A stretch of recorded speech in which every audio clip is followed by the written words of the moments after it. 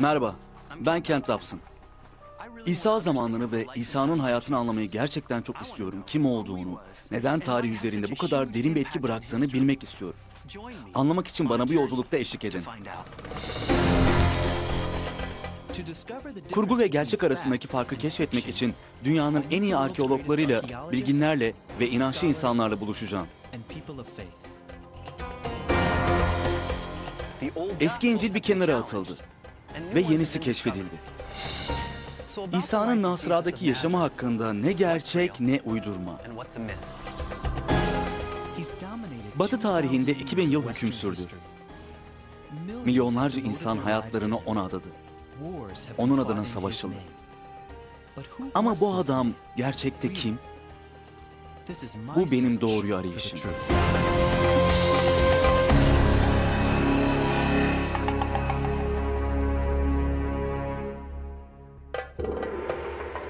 Ben İncil tarihçisi ve öğretmenim. Bugün Beytüllahim'e doğru giden yoldayım. Bilirsiniz ben çocukken yeni vasiyetnamenin dört İncil'in İsa hakkında bilmek istediğiniz her şeyi anlattığı söylenirdi. Bunlar İncil doğrularıydı. Ama inancımın eski tarihi üzerine çalıştıkça gerçek sorular sormaya başladım. Bana göre gizem İsa'nın doğumundan başlıyor. Şimdi Beytüllahim'deyiz. Bu demek oluyor ki Batı Şeria'ya girdik. Neredeyse başka bir şehre geçmişiz gibi. Sınırla, duvarla ve çetle. Bugün kutsal toprakların gerçeği bu. Beytüllahim şimdi hareketli bir Filistin şehri. Ama bundan 2000 yıl önce Roma İmparatorluğu'nun gölgesinde küçük bir şehirdi. Milattan önce 200 yılında Roma İtalya'nın ilerisine yayılmaya başlamıştı. Sonunda bütün Ege'de hüküm sürecekti. İsa doğduğunda imparatorluk eski İsrail topraklarını ele geçirmeye başlamıştı. İsa'nın doğuş hikayesini düşünün. İsa Yemlik'te, Meryem ve Yusuf, bilgi adamlar, Herod. Hepsi burada mı gerçekleşti? Matta ve Luka'nın İncil'i İsa'nın doğumunu Beytüllahim'e koyar. Luka'ya göre ebeveynleri Yusuf ve Meryem Nasıra'daki evlerini terk etmeye ve nüfus sayımı için güneye gitmeye mecbur kaldılar. Bu yüzden Beytüllahim Yusuf'un asıl memleketidir. Dünyanın ünlü İncil uzmanları hikayenin bu kısmını tartışırlar. Dominik Cumhuriyeti'nden rahip Jerome Murphy O'Connor bunlardan biri. Sayımın olduğunu neden düşünmüyorsunuz? Mısır'daki Romalı sayım kanunlarından örnek verecek olursak hepsi beklediğiniz şeyi söyler. Herkes evde kalır. Tabii, seyahat eden niye sayılır ki? Nerede yaşıyor ve çalışıyorsan orada sayılırsın. Ekonomik bozukluğa bakın. Demek istediğim bu tamamen imkansız. Luka der ki gördüğünüz tarih Quirinius tarafından yürütülmüştür. Quirinius burada bir sayım tarihi vermiştir ama çok sonra. Belki de 10 yıl sonra. Ve sayım olmasaydı kutsal ailenin Beytüllahim'de olmak için sebebi bile yoktu. Bu hikayelerle büyümüş benim gibi biri için bu oldukça kafa karıştırıyor.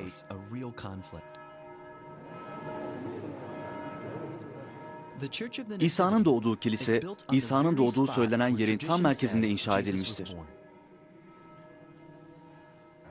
Her sene Noel zamanında betimlenen yemlik sahnesi burada gerçekleşmiş olmalı. Artık bundan pek emin değilim. Tüm doğuş hikayesini ayrıntılarıyla inceleyenlerden biri de ünlü İncil tarihçisi John Dominic Crossan'dır. Sizce doğuş hikayesi tarihe uygun mu? Matta ya da Luka'nın hikayelerinin tarihe uygun olduğunu düşünmüyorum. Bütün detaylar aslında tamamen farklı. Onları kendimize göre sıralıyoruz ama tamamen farklılar. Bunların hepsini tarihten çok kısa öykü olarak görüyorum. O zaman bunların gerçekleştiğini düşünmüyorsunuz. Hayır, örneğin Matta yeni Musa olarak İsa'yı getirecek. Herod da Firavun'un göçteki bütün çocukları öldürdüğü gibi çocukları öldürtecek. Bu gerçek değil, tamamen uydurma. John Dominic Crossan bana hepimizin en az bir kere duyduğu bir hikayeyi hatırlatıyor. Doğudan bilgi adamlar Mesih'in doğumunu öngörüyor. Ve şeytan Kral Herod'a Yahudilerin gerçek liderinin doğduğunu söylüyor.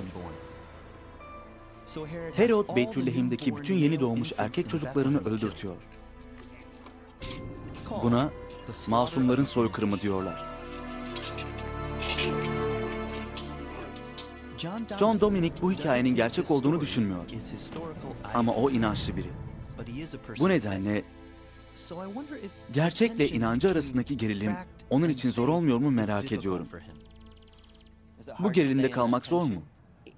Endişelendiğim hayatın gerilimi. Evet, evet, itiraf etmeliyim ki bunu asla zor bulmadım. Heyecan verici geliyor bana. Bunu biliyor musun?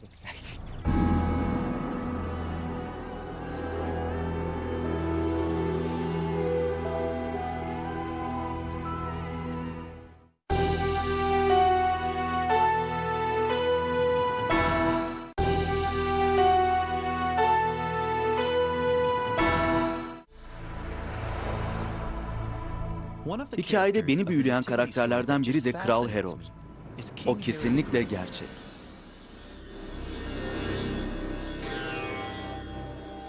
İsa doğduğunda Güney Filistin vilayetine hükmeden Yahudi kralıydı. Onun zamanında Güney Filistin yavaş yavaş Roma İmparatorluğu'nun eline geçti. Gerçek olduğunu nereden mi biliyorum? Çünkü bütün tarih kitaplarında var. Ve yaptığı binaların kalıntıları şimdiki İsrail'in her tarafında var.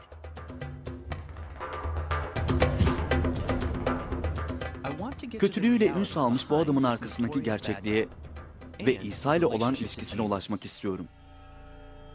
Bunu yapmak için en iyi yer Saserya yani Kayseri. Saserya İsa doğmadan hemen önce tasarlanmış ve inşa edilmiş bir liman kentidir.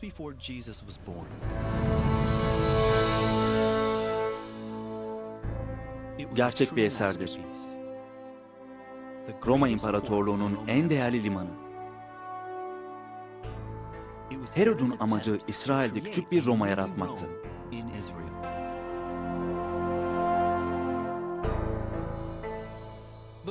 Şu mermer sütunlara bakın. Bu Türkiye'den, bu İtalya'dan, bu Yunanistan'dan ve bu büyük olan da Mısır'daki Asvan'dan buraya Büyük Herod tarafından getirildi. Sadece Saserya'daki taş işlemesinden Herod'un ne kadar güçlü ve internasyonel olduğuna dair fikir edinirsiniz. Ama Herod İncil'de yazdığı gibi gerçekten bir günahkar mı? Daha fazlasını öğrenmek için tarihçi Sarah Anderson'la görüşeceğim. Benim fikrime göre Herod hakkında bilgi edinmek için tarihçiyle değil, psikologla görüşmelisiniz. Gerçekleri biliyoruz. Gerçekler korkunç. En sevdiği insan olan karısını bile öldürdü.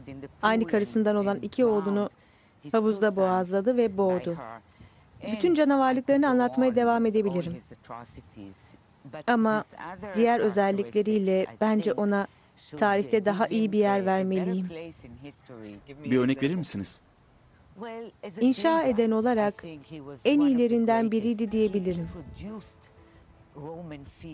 Roma figürlerine görünüm kazandırdı ve bir devlet adamı olarak kendisinden bin yıl önceki Güney Filistin krallarının da kralıydı.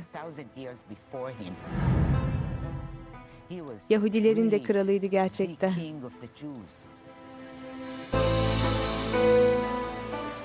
Yani Herod hem canavar hem de harika bir hükümdardı. Gerçek şu ki İsa adında birini hiç duymamış ya da masumların soykırım emrini vermemiş olabilir. Ama Sasaria bana Herod'un Roma'yı İsa'nın kapısına getirdiğini gösterdi. Roma'nın bu kadar güçlü olduğunu daha önce fark etmemiştim. Sadece iktidar ve askeri açıdan güçlü olması bakımından değil. Ticaretten, sanat, güzellik ve kültüre kadar her konuda baskındılar. Ve onlardan kesinlikle kaçamıyordunuz. Herod öldüğü zaman İsa'nın nerede olduğunu tam olarak bilemeyiz. Ama ondan önce güneyde Nasıra denen bir köyde görülmüş.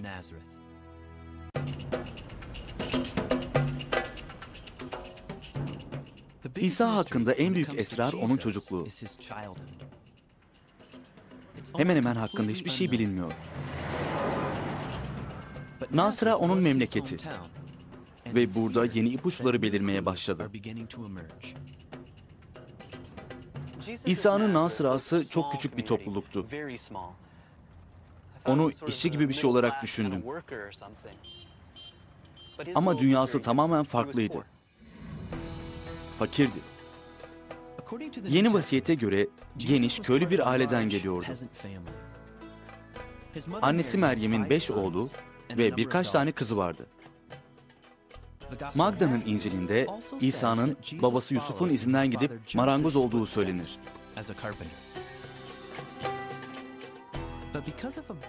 Ama eski Yunanca'nın kötü çevirisi yüzünden insanlar bunun hakkında yanlış bir fikre kapılabilir. İncil'de İsa tekton olarak geçer. Ve birçok insan bunun marangoz anlamına geldiğini düşünür. Ama kelime aslında inşa eden ve dünyanın bu kısmında sen taşla inşa ettiğin anlamına gelir. Bugün Nasra'nın tam kalbinde bir hedef buldular. 2000 yıllık bir hedef. Evleri için ihtiyacı olan çizdikleri kireç taşının haricinde taşta kesikler görebilirsiniz. İsa'nın buraya gelmiş olduğunu hayal etmek, inanın bana hiç de zor değil. Yusuf ve İsa marangoz değil de taşçı olabilirler. Bu da beni şu an burada yaptığımın aynını aynı yerde yapmış oldukları anlamına gelebilir.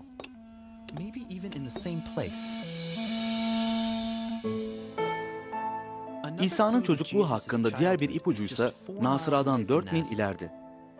Seforis adında Yahudi şehri. İsa çocukken yapım aşamasındaydı. Seforis Roma ile işbirliği yapan Yahudi aristokratlar için inşa edilmiş zengin ve büyük bir şehirdi. Seforis'e baktığınızda Roma'nın etkilerini görebilirsiniz. Ama bu yeri Romalılar değil, Yahudi taş işçileri inşa etti. Belki İsa burada babası Yusuf'la yan yana marangoz olarak değil de taş işçisi olarak çalışmıştır. Sadece kavurucu sıcağı değil, Roma ile ilgili olan bu işin ağırlığını hissederek küçük bir çocukken Seforis'in yapımına yardım etmiş olabilir.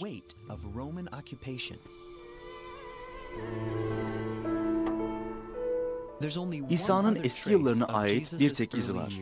Luka'nın İncil'i 12 yaşındaki İsa'nın Kudüs'teki ailesinden uzaklaşıp dolaşmaya çıktığı ve ailesinin onu aramak zorunda kaldığı güne dair bir hikaye anlatır. Sonunda onu bilgelerin arasında bir tapınakta onları dinlerken ve onlara sorular sorarken buldular. Luka'nın İncil'ine göre onu duyan herkes anlayışı ve verdiği cevaplar karşısında şaşırıyordu. İsa çok dindar insanlar arasında büyüdü ve etrafı güçlü Yahudi inançlarıyla çevriliydi.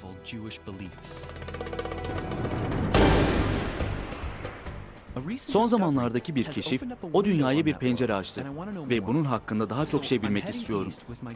Bu yüzden iyi arkadaşım Brian Schultz'la doğuya gidiyorum. Gideceğimiz yer Qumran adında Ölü Deniz'e yakın uzak bir yer. Dünyadaki en sıcak ve en ıssız yerlerden biri. 1947'de Bedevi sürüsünün eşekleri Kumra'nın yüksek uçurumlarındaki uzak mağaraya doğru sürüden ayrıldılar. Hikaye devam ettikçe bir adam onları takip etti ve mağaranın arkasında çoğu kırık bazı eski küpler görünce kafası karıştı.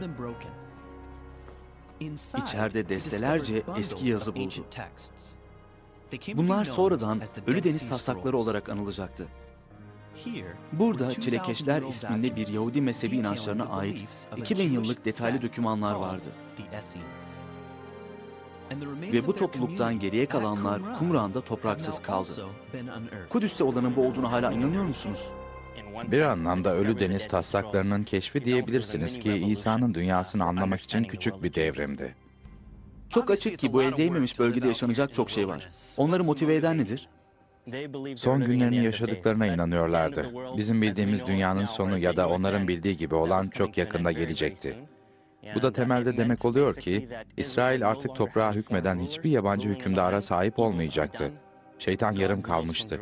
Kudüs'e Tanrı hükmediyordu. Bu bence temel farklardan biri. Brian bana çilekeşlerin Yahudi inançlarını farklı bir şekilde yaşadıklarını anlattı. Bir sürü farklı sosyal grup. Saflık ve dünyanın sonunun gelmesi konusunda takıntılıydılar. Bu insanlar belli ki ruhani temizlik hakkında çok endişeliydi. Neden bu konuda endişeliydiler? Ana metinlerinden biri Yeşaya 40 şöyle söyler. El değmemiş bir toprakta ağlayan ses Tanrı'ya doğru olan yola hazırlanır.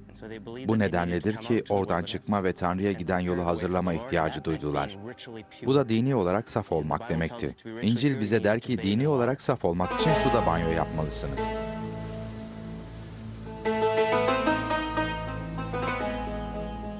Ayinsel banyoları canlı su diye adlandırdıkları şeyi elde etmek için mevsimsel sel suyu bulmaları gerekti. Dünyanın herhangi bir yerinde muhteşem bir su yolu hazırlamaktan başka seçenekleri yoktu. Vay canına. Milyonlarca galon buraya getirilebilir. Evet. Su neredeyse kaya kadar yüksek olur. Çok miktarda su bulunur.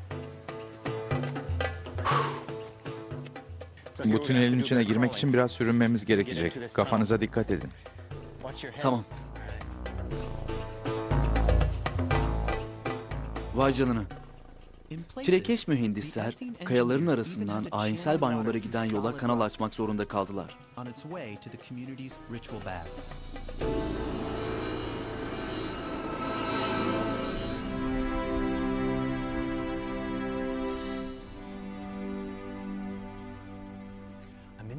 Ölü deniz taslaklarına ev sahipliği etmek için tasarlanmış Kutsal Kitap Sandığı Müzesi'nin içindeyim. Bu metinler gerçekten paha biçilmez. İsa'nın geldiği Yahudi dünyası ile ilgili bize fikir veriyor. Ama burası İsa'nın fikirlerini bulduğu yer mi? Kendisi bir çilekeş miydi? Bana göre taslaklar olmadığının bir kanıtı. İbrani İncil'inden olan çoğu metin eski Hristiyan vasiyetiyle temelde aynı. Ayrıca halkın kanunlarının detaylı kayıtları. Hepsi ortak şekilde çilekeşlerin katı, muhafazakar, dışarıdakileri açık olmayan bir Yahudi mezhebi olduğu kanısında. Bu gerçek ve dünyanın sonuyla ilgili takıntıları onları İsa'dan farklı kılıyor. Bu hayatının büyük bir kısmıydı ama bir anlamda kendisi değildi.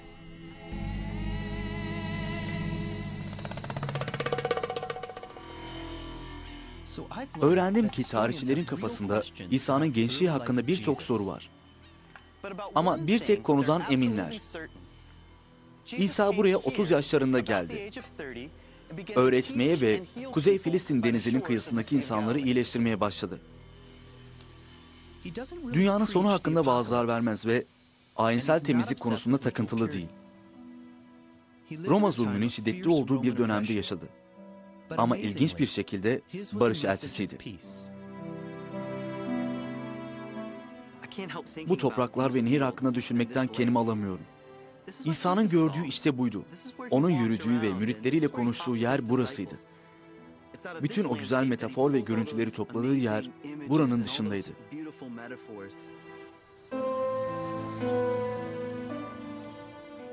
İsa dünyaya izini iyileştirici ve peygamber olarak bıraktı. Sözleri etrafındakilerin üzerinde özel bir etki bıraktı. İlginç bir şekilde müritlerinin yarısı balıkçıydı.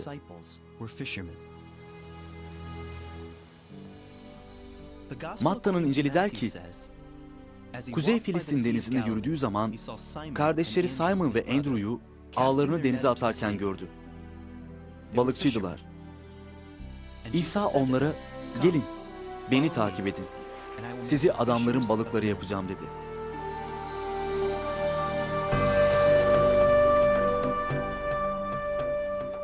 Bu bağlantıyı sık sık düşünüyorum. Sıradan insanların hayatlarını anladığını biliyoruz. Onların arasında büyüdü. İşçiler, çiftçiler. Ama neden yetişkinlik hayatının çoğunu balıkçılarla geçirdi? Şaşırtıcı bir şekilde balıkçılık 2000 yıl içinde pek değişmedi. Hala Kuzey Filistin denizinde ağlarla balık tutuyorlar. Bu bayağı iyi. İsa Tanrı'nın krallığının bizi denize götüren bir ağ olduğunu söylemişti. Ve ağ tekrar çektiğinde türlü türlü balıkla doluydu. Sonra iyi balığı kötü balıktan ayırıyorsun. İsa şüphesiz çok iyi bir öğretmendi ve böyle olmasının bir sebebi de herkesin anlayabileceği hayat dilini kullanmasıydı. Zengin veya fakir misiniz fark etmez.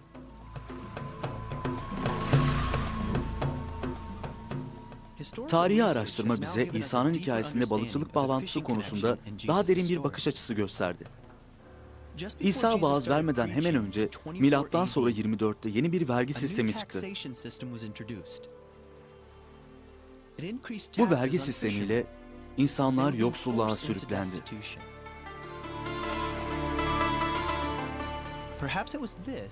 Belki de İsa'nın umut dolu mesajını o yüzden bu kadar açıktılar.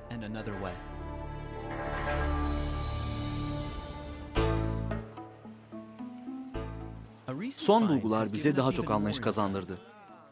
Moshe Lufan ve kardeşi Yuval bütün hayatları boyunca Kuzey Filistin denizinde balıkçılık yaptılar. 1986 yılında kuraklık oldu. Su seviyesi indi ve yüzyıllardır saklı olan bir şeyi açığa çıkardı. Gemiyi bulduğunuz günü bana anlatır mısınız? Öncelikle kardeşim Moşela ve ben denizde doğduk. Babam balıkçıydı ve biz ikinci kuşak balıkçıyız. Çocukken hep Kuzey Filistin denizinde oynardık. Bir gün bir çivi gördük. Çivi. Evet çivi, Roma çivisi. 20 santim sonra bir tane daha, sonra bir tane daha. Tahtayı gördüğümüz yeri temizledik ve hey bir gemi bulduk Hemen bir gemi dedik. olduğunu anlamışsınız. Evet, zıplıyoruz, dans ediyoruz. Hatırladınız mı? Ama güneş gittikten sonra kocaman bir gökkuşağı. Yani gökkuşağı gemiyi bulduğunuzda ortaya çıktı. Evet, e, bu geminin özel olduğunu hissediyoruz. Yuval'ın bulduğu bu özel gemi İsa zamanından 1. yüzyıldandı. Bu gemi keşfedilene kadar kimsenin müritlerin balıkçı gemisinin nasıl olduğu hakkında fikri yoktu. Denizle ilgili olan arkeolog Shelley Waxman kazıdan sorumluydu. Bu gemi Magdala civarlarında bulundu. Magdala'dan Meryem Magdalena'nın evinde. Bunun gibi bir gemide kaç insan vardır? Milattan sonra 1. yüzyıl tarihçisi Yusufus Flavius geminin tipinden söz eder ve gemiye 15 kişinin sığabileceğini söyler. Ama şunu unutmayın ki o zamanlar insanlar daha küçüktü. Yahudi ve Galileli erkeklerin ortalama boyu 1. yüzyılda 5 ya da 4,5 futtu. O zaman İsa ve 12 müridi düşünmek mümkün mü? 12 mürit de denize açılmak isteseydi bunu yapabilirdi. İzotop tarihlemesi geminin İsa'nın doğduğu zaman yapıldığını gösterir. Yani muhtemelen hayatı boyunca nehirde denize açılıyordu. O zaman neden bu gemiyi kullandığını düşünüyorsunuz?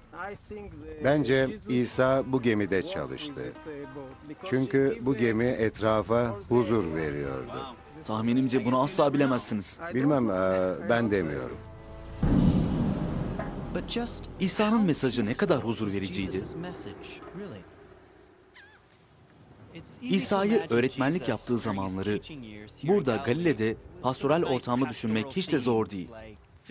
Öğrencileriyle balık tutuyor, insanların evinde yemek yiyor. Ama buranın siyasi düşüncelerinin kuvvetli olduğu bir yer olduğunu hatırlamak da önemli. İsa değişik bir krallıktan bahsediyordu. Havada baş kaldırı ve isyan kokusu vardı. Ve İsa bunun bir parçasıydı.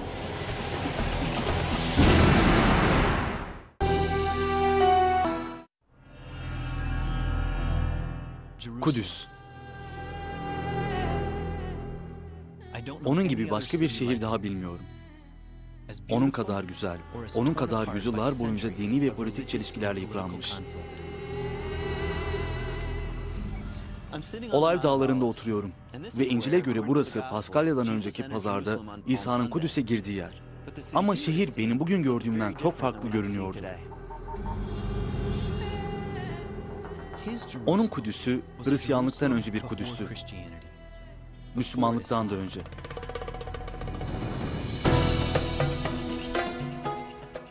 O zamanın standartlarına göre oldukça kitleseldi. Yaklaşık 100 bin kişiye ev sahipliği yapıyordu. Şehrin merkezi Museviliğin sembolik kalbiydi. Büyük tapınak, kutsalların kutsalı. Romalılar Kudüs'ü yağmaladı ve milattan sonra 70 yılında tapınağa zarar verdi. İsa'nın ölümünden 40 yıl sonra. Bugün arda kalan ve genellikle batı ya da ağlama duvarı olarak adlandırılan bir kuşatmadır.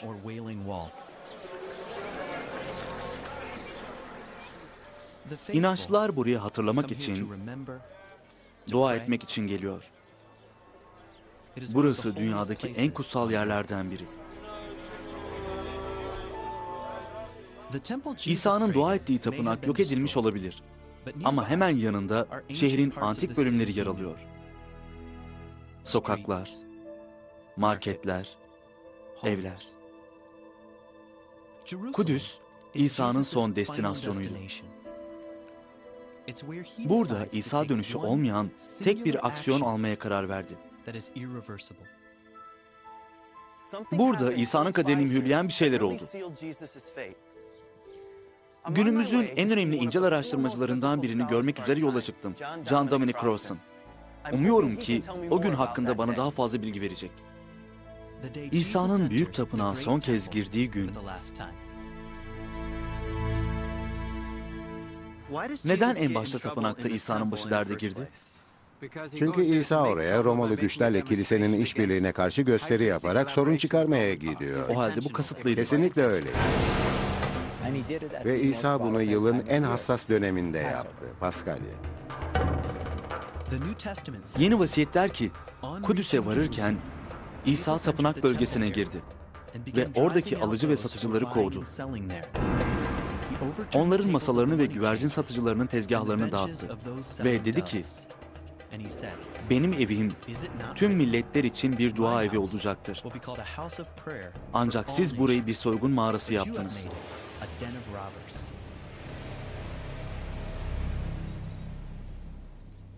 Böylece İsa tapınağa gelir ve masaları alt üst eder. Bunu neden yapıyor? Tapınak Tanrı'nın evidir. Ancak şu anda isteseler de istemeseler de Roma İmparatorluğu güçleriyle işbirliği yapan kutsal otoriteler tarafından yönetiliyor. İsa zamanında Roma kuralları koyan imparatorluk olmuştu ve İsa tamamen kendi Yahudi gelenekleriyle Tanrı'nın dünyanın böyle yönetilmesini istemediğini açıkladı. Ve bu bir devrilmedir. Yani senin düşüncene göre İsa'nın mesajı imparatorluk açısından oldukça yıkıcıydı. Oldukça yıkıcıydı ve Mısırlıların zamanından beri Yahudi peygamberler ve Tevrat her zaman Tanrı'nın adil bir sistem olmadığı için imparatorluğa karşı olduğu konusunda ısrar etmişlerdir. Sanırım İsa'nın ne gibi önemli politik açıklamalar yaptığını hiçbir zaman anlayamadım. Hristiyanlıkta politik bağlamı yok oldu. Bunu biliyorum. Sanırım birçok insan İsa'yı temiz beyaz kaftanı, küçük mavi kuşağı ve uçuşan uzun saçlarıyla hayal etmeyi sever. Tabii ki ben de bu görüntülerle büyüdüm. Ama İsa'yı bir devrimci ve fakirler için savaşan biri olarak görmek gerçekten zor. Bu şekilde düşünmek İsa'nın kim olduğuna dair kendi anlayışımı zorluyor. Yaptığı işle birlikte taşıdığı riskleri İsa biliyor olmalıydı. Kendisinden önceki birçok Yahudi lideri neler olduğunu görmüştü. Kudüs'ü açıkça eleştirmek, tek bir yönü olan bir yola girmekti.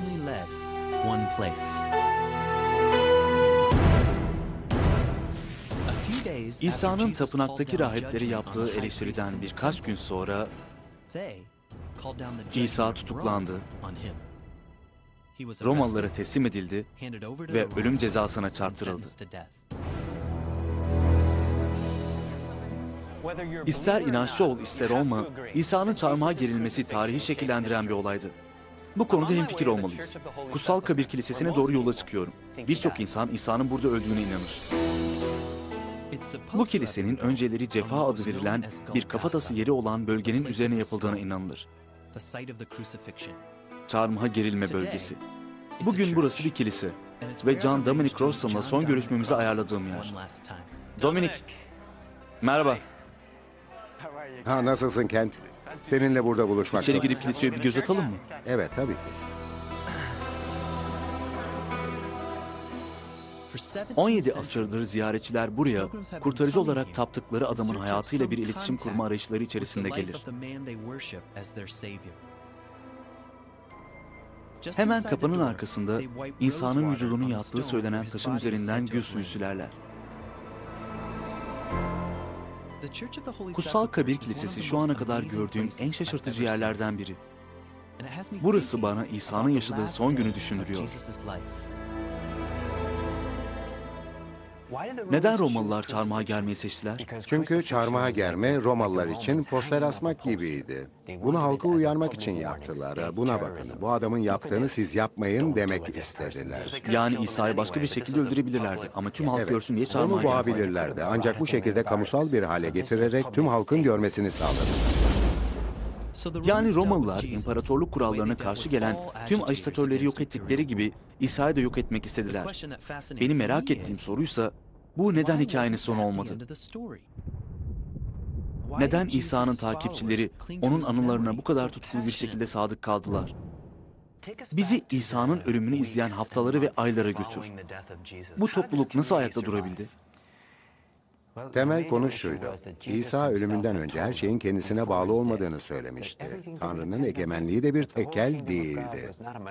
Onlar bunun bir parçasıydı. Onlar bunun bir parçasıydı. Onlara zaten yetki verilmişti.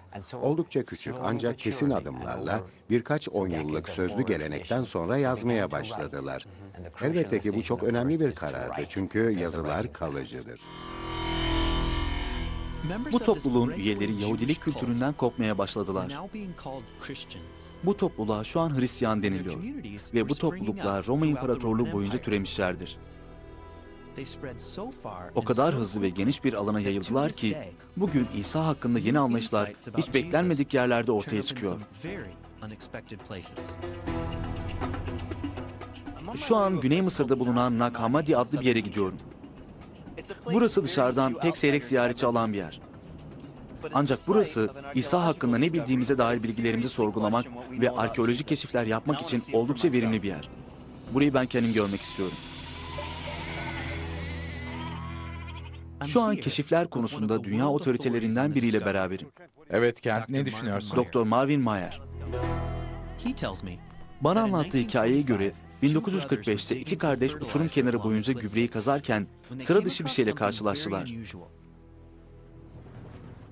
Bu kumun içine gömülmüş oldukça büyük bir kavanozdu. Büyük olasılıkla şuralarda bir yerde olmalı.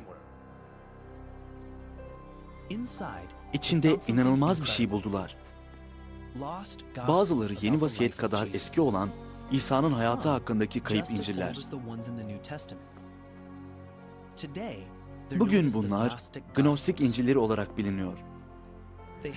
Asırlar önce Sen Paşamius adlı manastırda yaşayan rahipler tarafından kopyaları yapılıp gömüldüler. Bu rahiplere Gnostik İncil'lerini ortadan kaldırma görevi verilmişti. Ancak rahipler bu İncil'leri sakladı. Rahipler için buraya gelip bu belgeleri bir kavanoza koyarak gömmek nasıl bir şeydi açıklar mısınız?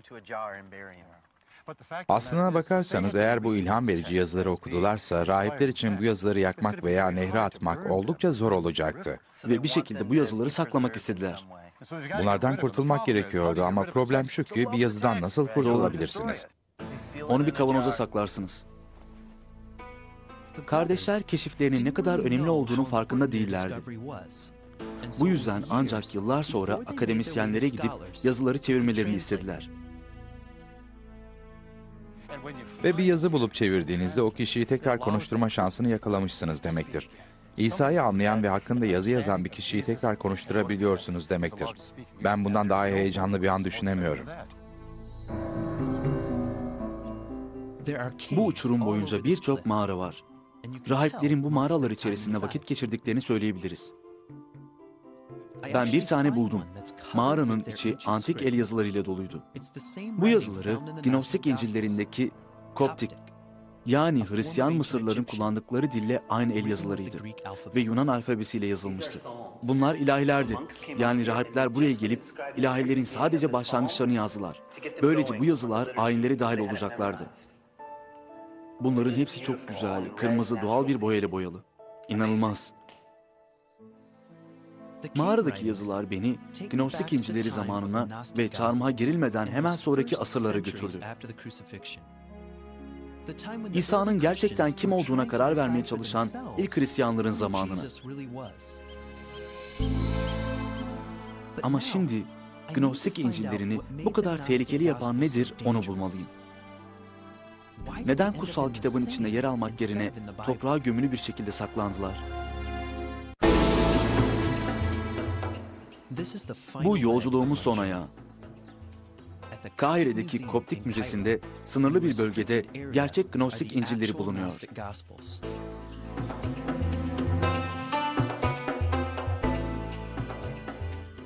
İçlerinde onları gömülmeye mahkum edecek ne yazıyor diye ortaya çıkarmak için buradayım. Merhaba, Merhaba. Kent. Nasılsın? İyiyim, Seni tekrar görmek güzel. seni de. Koptik Müzesi'ne hoş geldin. Teşekkür ederim. İşte buradalar. Bunlar yazılar, Nag Hammadi Çok yazıları. güzeller. Çok güzeller değil mi? Bu papyrus oldukça iyi saklanmış. Mürekkep oldukça temiz. Gerçeğini görmek harika bir duygu. Beni asıl ilgilendiren neden bu yazılar bu kadar tehlikeliydi? Neden toprağın içine gömüldüler? Bu yazılar Hristiyanlığın farklı bir açısını vurguluyordu. Birçok kilise rahiplerinin ve liderlerin kabul ettiğinden farklı bir tarz. Bu yazılar ruhani bilgi yazılarının bir parçası. Yani bu yazılar inanca karşı bilgiyi vurgulayan yazılardı.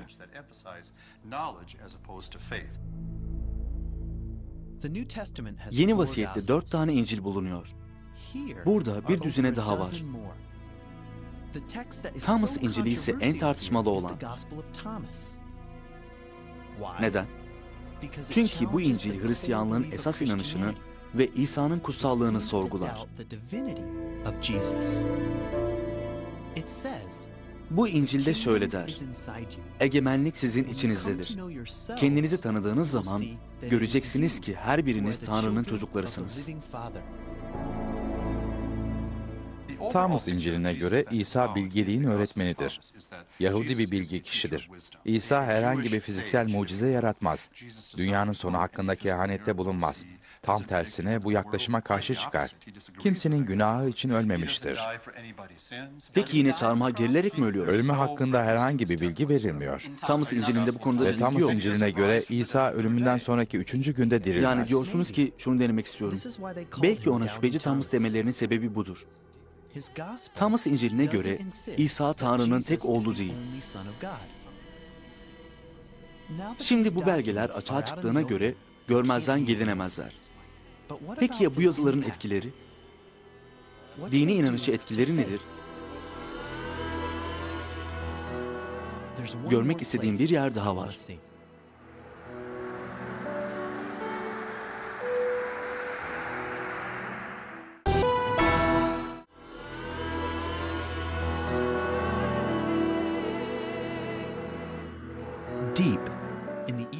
Mısır'ın doğu çöllerinde manastır hayatını yaşamış bir dizi Hristiyan rahip var.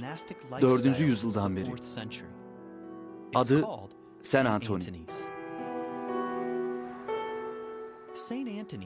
San Antoni Hristiyan manastırı tarafından milattan sonra 356 yılında Gnostik İncil'lerinin dinsiz olduğunun deklare edildiği zamanda yapıldı.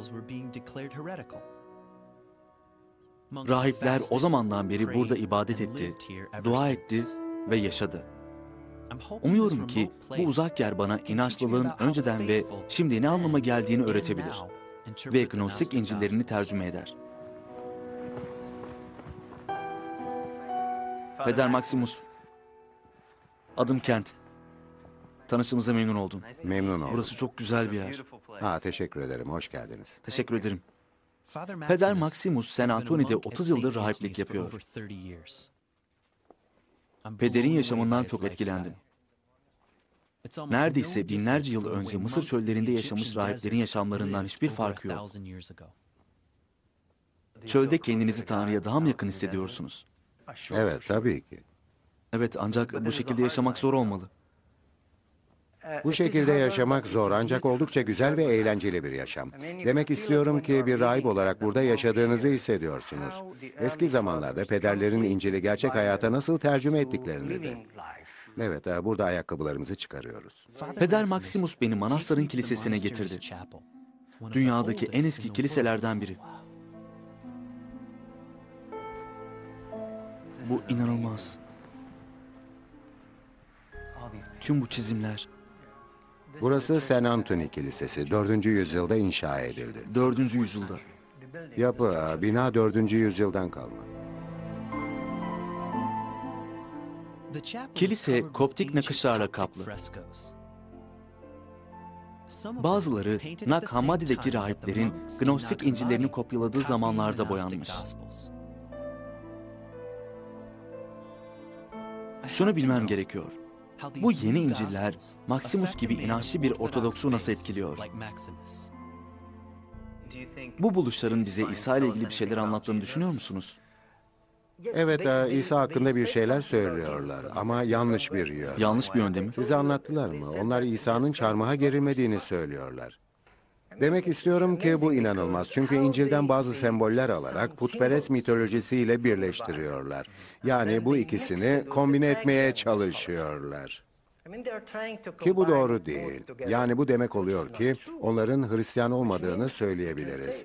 Biz tüm bu gnostik hareketi kiliseden aforoz ettik ve bunun bir Hristiyan hareketi olmadığını söyledik. Bu hareket tamamen farklı bir şey. Baptist son hakkında hiçbir şey yok mu? Peder Maximus'un hiç şüphesi yok. Ona göre Gnostik İncil'leri aykırıdır. Ve Hristiyanlık onlar olmadan daha iyidir. Bana göre bu İncil'leri görmezden gelmek o kadar da kolay değil. Gnostik İncil'leri önemlidir.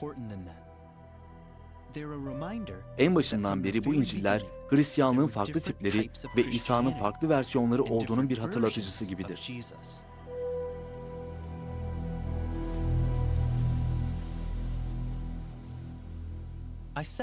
Ben İsa hakkında araştırma yapmak üzere işe koyuldum. Ama nereye vardım? Sanırım İsa hakkında daha fazla araştırma yaptıkça yeni soruların ortaya çıktığını keşfettim. Şüpheci Thomas diye bilinen Thomas karakteriyle birçok bağlantım olduğunu hissediyorum. Thomas, İsa'nın dirilişi konusunda şüpheci yaklaşıyordu. Ve ben de İncil'e ve İsa'nın hikayesinde kendi sorularımı ve şüphelerimi ortaya koyuyorum. Ancak o bir müritti ve mürit olarak kaldı. Ve bence bu sadece dürüst bir insan olmanın bir parçasıydı. Ben bunun böyle olduğuna inanıyorum. Ve İsa'nın bile benim gibi birinin sorular sormaktan vazgeçmesini isteyeceğini sanmıyorum. Çünkü onun hakkında araştırmalar yaptıkça onu daha iyi anlayacağımıza inanıyorum.